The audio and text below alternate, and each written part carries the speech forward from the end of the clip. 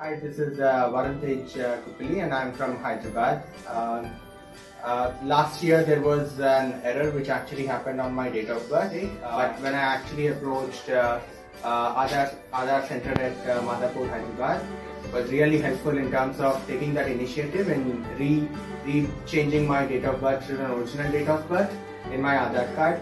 That uh, eventually led uh, in terms of helping me to clear out my US immigration visa and my passport uh, thing.